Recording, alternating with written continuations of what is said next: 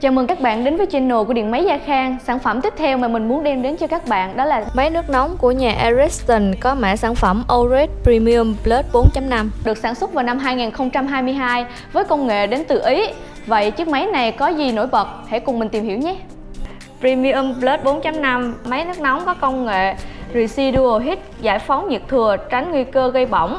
Hệ thống Safety Check kiểm tra an toàn điện trước mỗi lần sử dụng với công nghệ Eco tiết kiệm điện năng nhờ chu kỳ đun nóng thông minh, vòi sen với lực phun mạnh mẽ, điều chỉnh 5 chế độ. Sản phẩm có thông số kỹ thuật khối lượng 3,2 kg, công suất 4.500W. Sản phẩm được bảo hành chính hãng 12 tháng và được phân phối tại Điện Máy Gia Khang.